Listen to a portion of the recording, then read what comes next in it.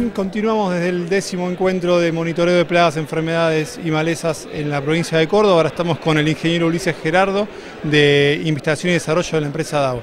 Ulises, presentaron una, durante, tu charla presentaron una nueva molécula, una nueva presentación, un nuevo desarrollo que implica un nuevo modo de acción este, dentro de lo que son los, los productos banda verde. Contame más o menos en, qué, a qué plagas apunta y cómo serían las pautas de manejo. Bien, sí, esta es una nueva molécula eh, descubierta por, por DAO. Eh, es un insecticida sistémico, que es lo que le faltaba al portafolio de DAO.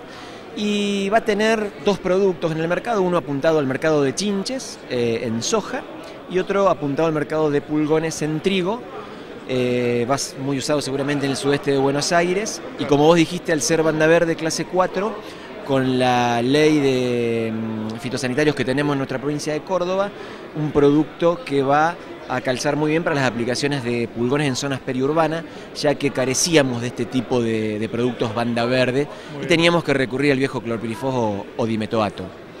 En lo que es chinches, es un producto que eh, deja de ser banda verde porque está mezclado con la andacialotrina para darle volteo a las chinches. Y viene a completar, digamos, el, rango de productos que ya hay para estas chinches desde la salida del endosulfán. Lo importante es que, como vos bien dijiste, es un nuevo mecanismo de acción. Esto significa que podemos rotar entre mecanismos de acción y vamos a no sé si la palabra es impedir, pero a hacer que la resistencia se demore en aparecer en el tiempo. Para que tengas una idea, hoy por hoy en chinches lo más usado desde los insecticidas sintémicos son los neonicotinoides. Este producto tiene un mecanismo de acción diferente, quiere decir que si hay una chinche que es resistente a neonicotinoides, con Isoclas la vamos a poder controlar sin ningún problema. Este, muy bien, y en cuanto a lo que tiene que ver con dosis, ¿cómo, cómo, ¿qué dosis están manejando, tanto para pulgón como para chinches?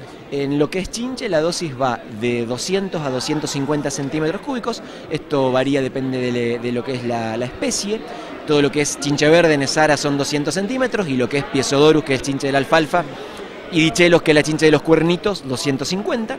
A veces si tenemos todo dichelos, que es la de los cuernitos, como es una chinche más dura, podés extender hasta 300 la dosis. Y en lo que es pulgones, la dosis va de 75 a 100 centímetros cúbicos eh, por hectárea. Muy bien, muchísimas gracias. Gracias a vos.